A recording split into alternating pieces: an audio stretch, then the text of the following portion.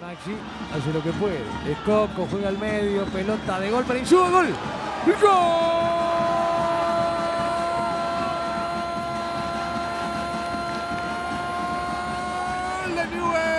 minuto 17, lateral que se desprende, lateral que conecta. Llegó Emanuel Insúa, 17. ¿Será desgracia para alguno?